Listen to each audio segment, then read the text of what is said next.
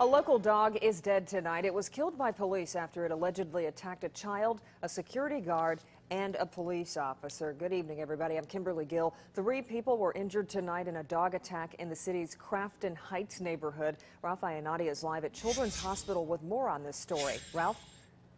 Well, good evening, Kimberly. The police officer was bitten on the leg. A security officer scratched and bitten on one of his hands, and the six-year-old boy was bit on his side. He'll likely require some stitches, and he was brought here to Children's Hospital uh, to be treated. I thought somebody actually got shot, like somebody, like a person. But the gunfire that neighbors heard in the Mountain View apartments on Crucible Street was not someone shooting at someone else randomly. A Pittsburgh police officer shot and killed this year-old lab pit bull mix named Cola after the dog not only attacked a six-year-old boy, but also a Mountain View security guard and a city police officer as well. The dog was finally put down in this field where it was running free. And then I see somebody had a hold of the dog over there, and um, I guess that the uh, the dog must have went a little crazy, and they shot the dog three times. Like three times, like pow, pow, pow.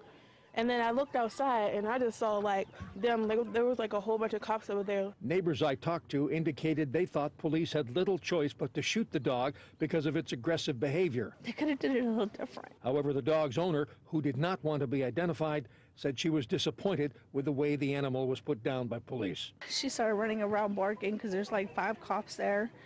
And uh, they started tasing her. And then after they tased her a couple times, they uh, decided to shoot her. Now, fortunately, none of the injuries uh, related to this dog attack tonight are considered life threatening. And since the dog was roaming free, Pittsburgh police expect the dog's owner to be charged with a violation of the city's leash law. We're live tonight outside Children's Hospital. I'm Ralph Iannotti, KDKA TV News on Pittsburgh CW.